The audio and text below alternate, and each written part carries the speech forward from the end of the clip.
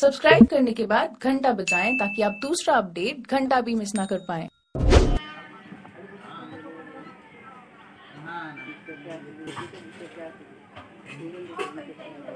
Thank you.